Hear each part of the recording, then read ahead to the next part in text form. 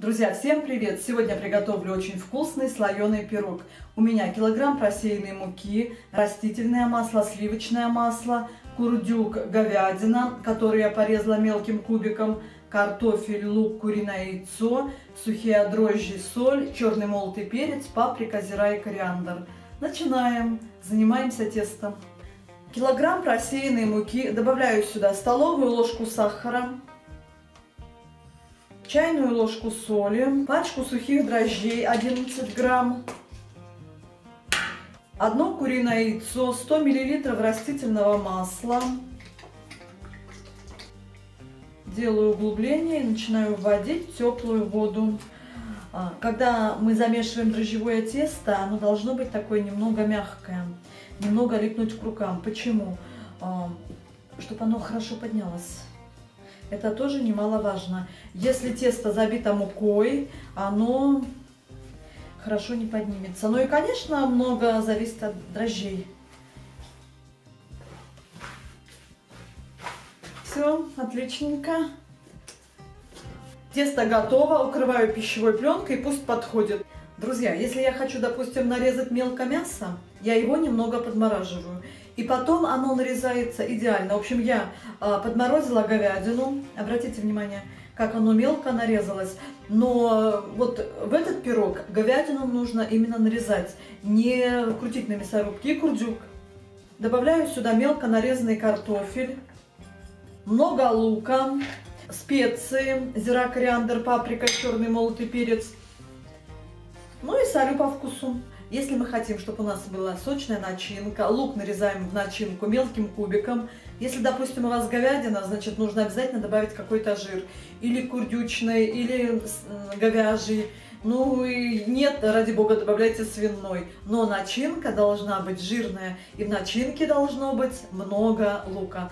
Тесто подошло. Так вот его немного обомну.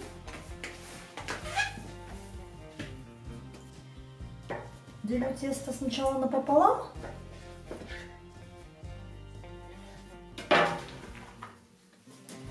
Один кусочек пока убираю в чашку. Стол смажу немного растительным маслом, чтобы тесто не прилипало. Делю кусочек теста на 4 части.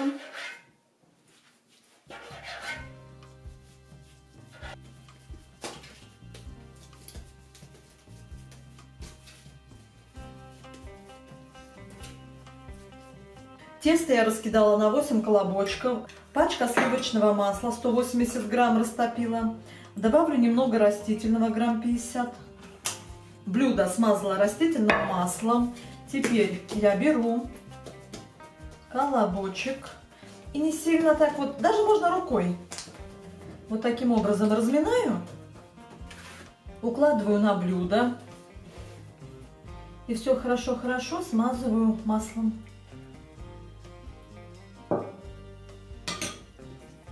Переверну.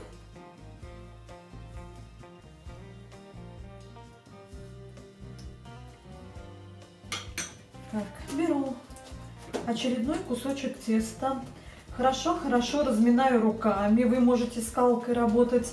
Нам вот эти лепешечки на, на данный момент большие не нужны. И кладу очередную лепешечку. Смазываю хорошо маслом. У нас же ведь сегодня будет пирог слоеный, поэтому мы делаем слоеное тесто. Мне даже скалка не пригодилась. Хоть я ее приготовила к работе.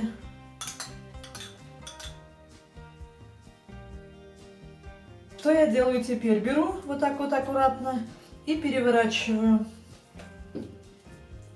Стол смазываю растительным маслом немного.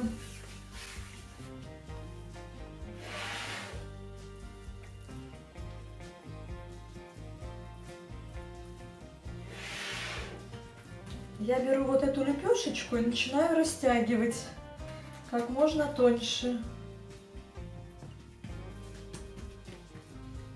Тянем вот таким образом.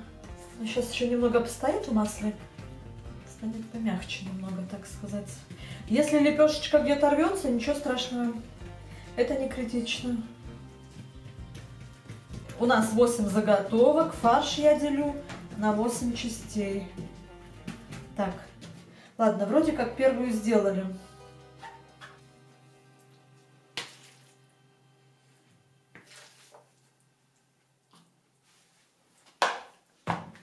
Положила. Хорошо вот так вот распределяю.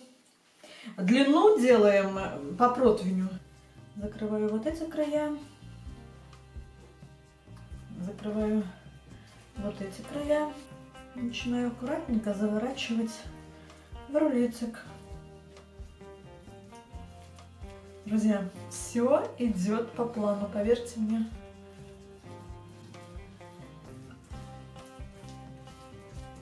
Я сделала рулет по длине противня и кладу на противень. Хорошо растягиваю.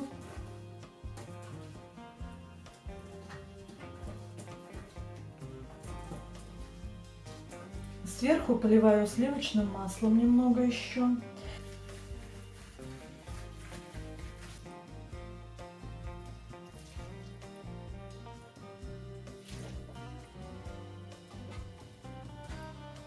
Закручиваю.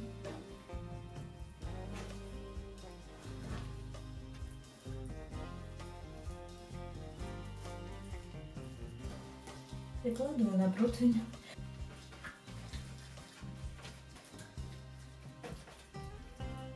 Мы делаем длину противня.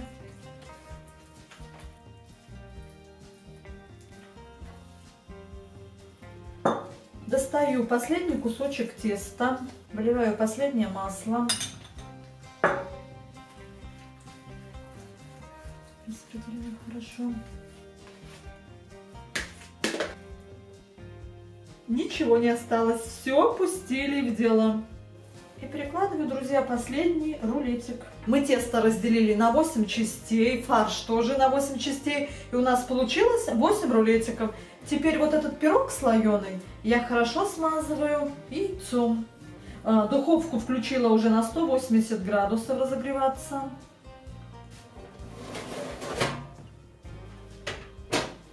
Достаем. Ой, отличненько. Вот такой у нас получился пирог неподъемный, еле держу. А, целый большой противень. Сейчас будем пробовать. Разрезаю пирог на три части. Хрустящий.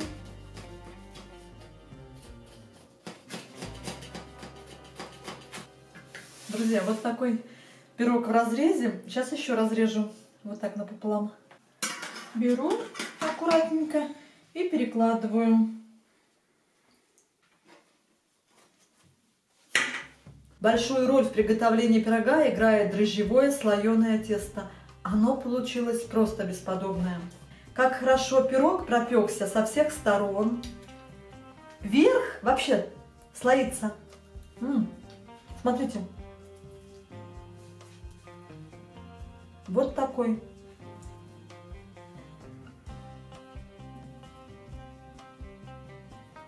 И обратите внимание, какая сочная получилась начинка.